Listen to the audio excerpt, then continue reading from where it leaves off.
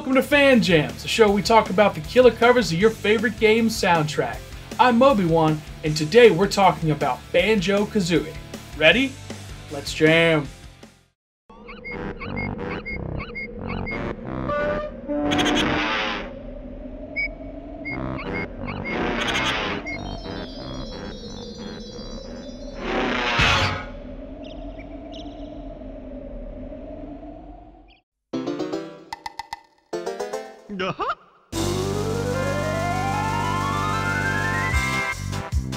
Banjo Kazooie is such a special game to me.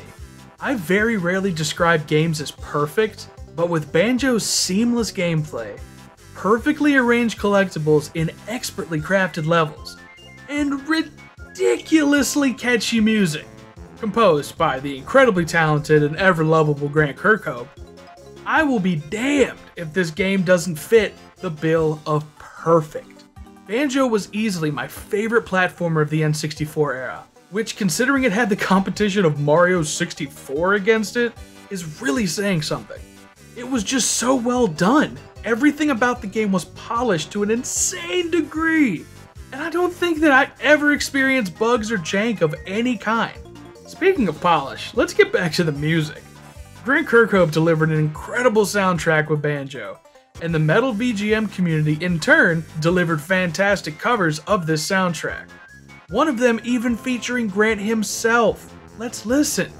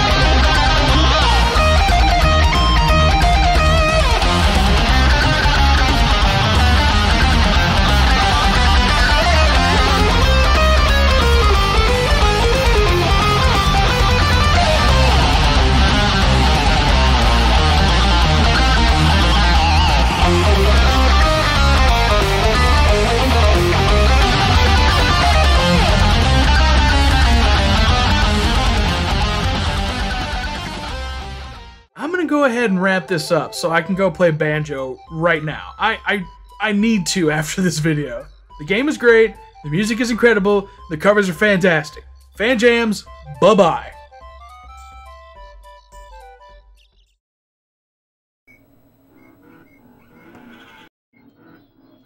I wasn't I, I wasn't joking. Like I'm I'm gonna play banjo right now. Get get out. Thank you so much for checking out this video. Every like, share, and subscription is absolutely appreciated. And if you know someone who would like this video, please send it their way. Let me know in the comments what game you'd like to see covered in a future Fan Jams video. And if you want more METALBRED, make sure to check out our Twitch channel for gaming and music streams. Thanks again, and I'll see you at the next jam.